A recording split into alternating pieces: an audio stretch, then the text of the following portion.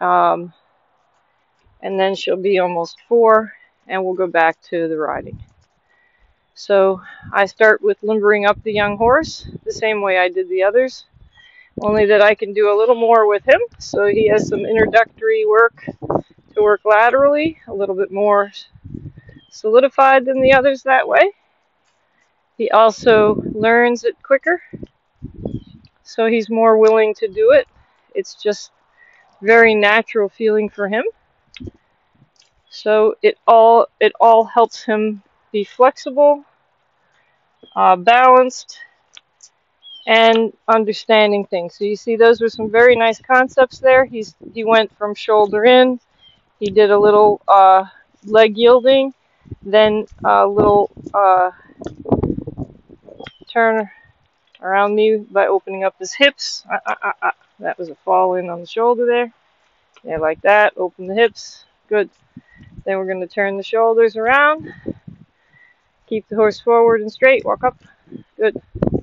And then push him back into the rail and a leg yield. And then move that into a shoulder in. Good. Excellent. Open the hips this way. So he's opening them in both directions. Excellent. Then catch your shoulders. Move the shoulders over. So this is an excellent choice of exercises. We go from one exercise to the other to help the horse limber up, open his hips, open his chest. Very nice. Good boy. And you can see he does that with relative grace and ease, even though we have bugs attacking us. up, up, up. Come on, walk up, stay forward. There you go. Very nice. Excellent. So that may have looked very informal and very simple, uh, but that's a lot and does a lot to balancing a horse. You have to keep him forward and straight, and it teaches the horse later um, to carry his haunch on his haunch and balance correctly by opening and widening the base from the hips and opening and widening the chest so that he has nice four pegs. Now I'm saying to him, we stretched out, we're going to go to work. I want you a little bit more forward, a little more awake. There I'm using a little bit of a strong bend on his shoulder and taking his rib cage and pushing it out. There we go. Two adjustments ago, he was very out in his rib cage. So, and this is deep sand, by the way, over here that he just tripped in, which is okay. He has, in this ring, our ground varies. It's excellent because we bring the horse in deeper ground and then in shallower ground, but it's all soft footing, so that the horse maintains what he does in nature, which is move over terrain that is not always perfect. I don't like to baby my horses, but I don't like to stress them. So I don't work in the deep area consistently. I go back from the deep area to the shallow area. It works their tendons and their body differently to be in deep. And it's not always good to do too much, but it is good to do some. The horse should be able to adjust his body in varying terrain whether he's going to be a dressage, a jumper, or an eventer. Get by the camera, buddy. he needs to be able to adjust for the different terrains. If we put him in a perfect ring all the time, he never ever teaches his body to compensate for variations in footwork. Then the first time he hits a variation by purpose or accident, the horse injures himself and becomes useless. We disable our horses by overprotecting them and making the world over perfect. There's a difference between him having to have really bad footing all the time and having a good mix up of good footing, deep, shallow, and more compact, less compact, so the horse adjusts to that. I purposely have nicely kept fields so they don't accidentally have big holes to fall in. but I make sure they have uneven ground in places so they adjust. Excellent. That's very nice, Qash. So there he has a nice, nice balance. He's coming under himself with the right hind. He's flexing all the three joints of the, the haunch. He's bringing down his pelvis and rotating under. And he's carrying his front end. Good boy, which is something that a young horse should learn right away as correct way to trot. Very nice, very nice. Horses with bigger strides like Qash, you have to make sure you're keeping them on the haunch like this. Very nice, good boy. Excellent, and now we'll go the other way a bit. That was very nice work. See how the other side feels. So he couldn't do that before his last adjustment. Good boy! As nicely. So his chiropractic adjustment, his MagnaWave, and his good limbering work have helped him recover from, I don't know, rolling and putting his rib cage out of place. This happens to us like it does to them. Sometimes a little extra help is good. Yeah, in the wild they don't have this, but that's the nice part of being a modern medicine horse in captivity is that we can use all the things we need to help support the horse's body. You can see in this case he's stiffer today on this left rib cage. So I just moved into this corner. I'm walking into his rib cage. I'm shortening up the circle. I'm increasing my depth so that I walk more so he stays on a bigger circle, but I'm closer to him to hold the rib cage like this and bring the haunch under better like this. Excellent, excellent. Now you can't do that with a young horse that's not practiced and comfortable with where you are and trusting. Quela's not ready for this. He is. Excellent. We didn't stay on that smaller circle too long. I let the youngster out of that. So what we wanted to do was show him to bend in the rib cage, come up in the haunch, balance better than he was, stretch himself out better, and then release them into the bigger circle. I'm going to make the circle smaller again put a little more pressure to get this hind right. And the rib cage, and catch the shoulder, push the hind, catch the shoulder, walk into the rib cage. Push the hind, catch the shoulder, walking into the rib cage, like that. Get your timing, get your rhythm, balance the horse with rhythm. Excellent. Get your timing, push at the moment that's correct, half halt at the moment that's correct, to maintain the pace and the balance. Use the corner now. The corner will help us get this hind leg do its job a bit better. You can see it's bothering him when I make him get on this hind a little more. He's throwing his head up there. That's okay. That's it. Want to make sure we teach the horse what this means and how we can help him when he's young before we're putting the weight of a rider on. So when we go to straighten out these issues, because you'll have him as a riding horse too. That we could use these skills. Excellent. So now I feel like, okay, I asked, I showed him what I wanted. He came along a little better, not quite right. So I'm going to move the shoulders from one side to the other. Sometimes that helps catch the hind leg where I want and unlock the shoulders and move the rib cage over. Excellent. Going to keep the horse moving forward in that transition of changing the direction like that. Move your whip first, over, tell the horse, over, and your line catches the loose. Release your line so the horse goes out. Move your whip over, take the line in and say over. Excellent. Now these guys, as they build up strength and power, they'll do this quicker and quicker and they'll be able to do it at canter. But for now, he's young. We want to just make sure he stays forward. Excellent. And that we're not dragging him by the nose through this. So I'm going to settle him in the right here. I felt like he was losing his haunches there a bit. Excellent. Good. Like that. Like that. So he's not nice shoulder in on this side. Good. Over. Now we're going to do it on the other side. Make sure he balances. Now I showed him at first to unlock the shoulder and the chest. He lost his balance in the haunches and the pelvis. So now we're going to say, I want these changes of direction, but I want you to hold together, eh? Like that. So he sat back on the hip there. So probably with the growth spurt he's in, that tendon on the stifle is being a bit tricky. Happens when they're growing, just like it does for us. Eh? Like that. There. So that tendon popped a little. Then we caught the shoulder. We sent the hip. Excellent. Catch the shoulder. Send the hip.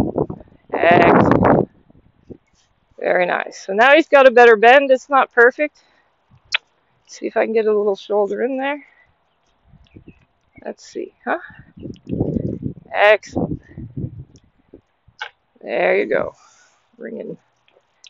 And like that. Push it out. Like that. Like that. There. Almost. Almost went into the shoulder and he wasn't quite there. Slow the shoulder. Push out the rib cage. Like that. Better. Nice. So he's coming to it. That's it. Slow the shoulder. Push the rib cage. That's it. That's it. Like that. So you got the impression of what we're doing. There. Much better. So now we can see the abdominal muscles. When he went to that fence line, came up nicely. Excellent. You can see the horse now asking to walk because he feels it in his body, that adjustment we just made. It was subtle, but it balanced the horse. Walk out of it backwards. Stay forward. So just then as we balance the horse, they feel it. Being young, they want to maybe go out of it, and that's why they try to back up with the haunches to the outside of the circle. So you have to quick make the horse go forward and stay with the haunch under. Not necessarily trotting, but walking is good. Ah. That's it. Walk up. That's it. So he doesn't lose it. So he's trying to throw the haunch out, which is why it's nice to have these three sides to catch him with. That's it. And now we have to walk more. So we keep him on the rail in a bigger space, but control that hip. Like that. Like that. You're being with that leg. Bring it under, buddy. And walk. And the transitions help a lot. It's another way to shorten the base to use the transition, eh? And get the horse coming closer from front to back, underneath himself. Ah, yes, and carrying the balance there, like that. See the up transition help more, and it cut the horse from going out on the rail and throwing his hips out to the outside of the circle. Kept him under. Excellent. Excellent. And forward like that. So much better. It's still being tricky, that tendon. That's okay, huh? We got to stretch it because when we're growing, we still have to stretch. We don't want to overwork it though. Excellent. Walk up. No, no, that's, I know you want to keep cheating on this side. We're just walking, huh? Good boy. Huh? Yeah. So, given how he felt in that tendon, I'm not asking the counter work because he's in a growth spurt that's affecting how he wants to sit and rotate the pelvis. And I'm going to take that into consideration that it would be an unsuccessful event to teach the horse to not engage correctly his hind leg for the canter depart.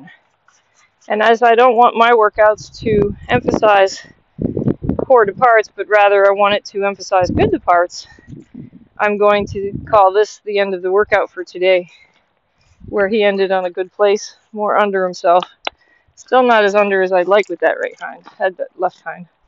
Yeah, let's see if we can just a little bit tap it up, huh? Just a little bit tap it up, tap it up there, like that. Sometimes I can catch the horse up close like that, help him out a little bit more with a little bit more shoulder in work, like that, like that. At that. Don't keep trying to throw the haunch out on me. catch your shoulder, See how that hind leg went back there? That's the problem, eh? So, see, I'm going to catch him. Yeah, how fast can I go? so that's all up up on my A's, eh? Good. Ah, ah. So he wants to barge a little bit here. He's busy looking at the things that could be interesting to spook, and I'm saying, nah, it's also important training for the young horse. We don't spook. At that, back up. Good. At that, hey, keep your shoulder off of me, huh? And sit on that haunch. So now I'm keeping him in the shoulder in. I'm going to rotate that pelvis a little bit strongly there, just for a few strides. And then open the hips and let him go out of it. That, that, that, that, off that shoulder. Get off that shoulder. So he's stuck on this left shoulder, so I'm going to use the rail to help do the rest. Huh? Like that. That's move your shoulder over. Huh? So the horse wants to bury that shoulder into me. So I'm going to push his shoulder away like that. Keep him on the shoulder out. Excellent. Excellent. Excellent. So that's an advanced move. I have a friend of mine who's young 10 year old horse that she just purchased. Needs to see how to do that with her mare. That's an excellent exercise for a horse that's bargy on the shoulder once they have enough line work and groundwork instilled. I see our camera left us. That's the way it goes. Every time I want to show something good, the camera leaves. Let's catch the camera and see if we can show it. Good boy, Qash. Alright, so again, we're going to repeat this exercise. Now going in the opposite direction. That's it. That's it. Let's see if the camera can follow us, Qash. Yeah, so it's good to do even if the shoulder is stuck left. Yeah, over this way. So I'm telling the horse, look, I want you to go with your shoulders that way. Ah, now I can tap him forward, get him to go down the rail. Tap the neck, tap the neck, send the horse out. So he's young. He hasn't done a lot of this, so they forget and they don't really know what you want from their body. So you're showing them move your shoulders, move your shoulders like that. Then you're going to move the hip under like that. Okay? Lots of ants on that rail. So we have to be aware of that. Lots of red ants over there. We have to get some powder there, don't we? All right. So we're going to move them going the other direction now. Hopefully stay away from all those ants there. Up. Walk up.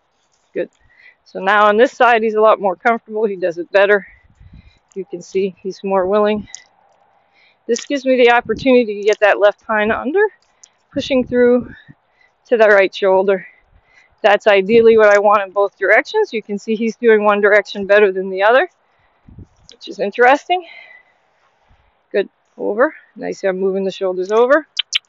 I'm going to ask him to go down the rail again. So he gets this side right. Excellent. So you see, by releasing the line a little sooner, he was better able to comply. There. That's it, like that. I'm going to come off the rail a bit more just because the ants.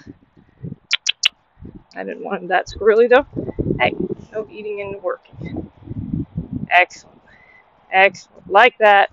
Now you see the horses moving nicely sideways. And when they're really strong at doing that, you would go to the trot in that circle at the end. And we lost the camera yet again. Oh well. That's enough for you today, my friend. Qash emotionally, mentally, and physically handles longer workouts. So we don't mind that. We let them do it. And the flies are horrendous, aren't they, buddy? They sure are.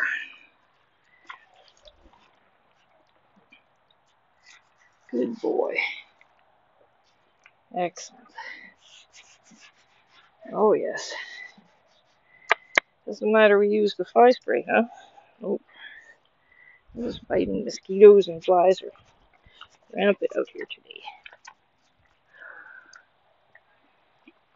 Hmm. So this tells you how little a young three-year-old can handle bits because they can't handle chewing a chopped up carrot because they're baby teeth. They're still baby teeth. Hey, don't bite my hand, dude. That was not nice. Alright, did that by accident, I know, but you gotta be careful. Alright, hazards of hand feeding treats.